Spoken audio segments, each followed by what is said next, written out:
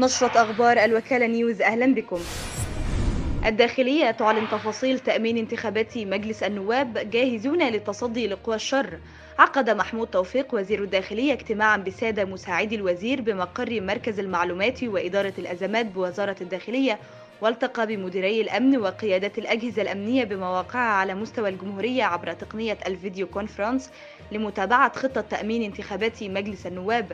وفي بداية الاجتماع وجه الوزير الشكر والتقدير للجهود التي يبذلها رجال الشرطة مؤكدا أن النجاحات المتتالية التي تحققها مختلف أجهزة الوزارة تعد رسالة طمأنة للمواطنين بأن الدولة المصرية قادرة على دحر كل من يحاول العبث بأمن واستقرار البلاد وهو ما جددته اليقظة الأمنية بنجاحها في تأمين عمليات انتخابات مجلس الشيوخ لعام 2020 وكان موضع إشادة على مختلف المستويات. وأمطار غزيرة تضرب الإسكندرية وارتباك مروري على الطريق الصحراوي. تعرضت أحياء الإسكندرية ومناطق متفرقة من المدينة لهطول أمطار غزيرة مصحوبة بانخفاض طفيف في درجة الحرارة صباح الخميس. فيما شهد طريق الإسكندرية القاهرة الصحراوي ارتباكا مروريا شديدا بسبب تجمعات المياه.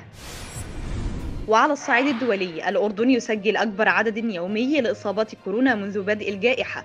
أعلن الأردن اليوم الأربعاء تسجيل 2648 حالة إصابة جديدة بفيروس كورونا وهو أكبر عدد يومي منذ بداية الجائحة.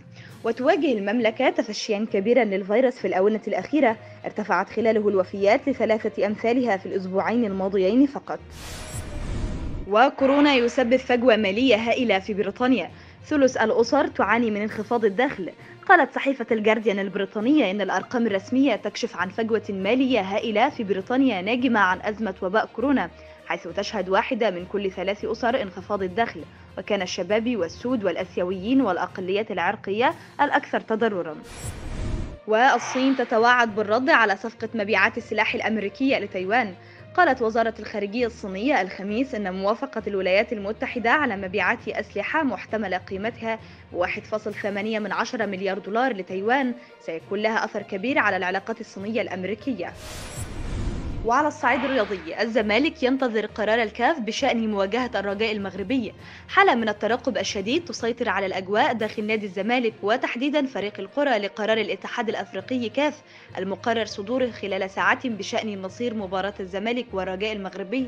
المقرر لها السبت المقبل وست تكهنات قوية بصدور قرار بتأجيل المباراة إلى الواحد والثلاثين من أكتوبر الجاري بسبب إصابة عدد من لاعبي الرجاء بفيروس كورونا. ومنتخب مصر يتراجع على المركز الثاني والخمسين في تصنيف فيفا وبلجيكا بالصدارة.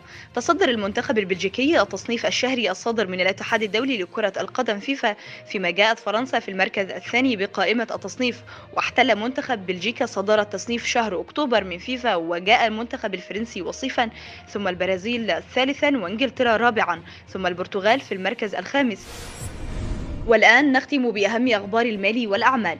ارتفاع سعر الجنيه الاسترليني والدينار الكويتي وتباين بباقي العملات اليوم الخميس.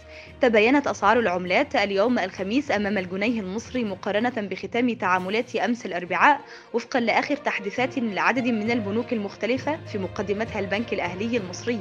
حيث استقر سعر الدولار اليوم أمام الجنيه المصري وفقا لآخر تحديثات البنك الأهلي المصري عند 15.65 جنيها للشراء و15.75 جنيها للبيع. إلى هنا وصلنا لنهاية نشرتنا الإخبارية. يمكنكم الاشتراك في القناة وتفعيل الجرس ليصلكم كل جديد. طابت أوقاتكم.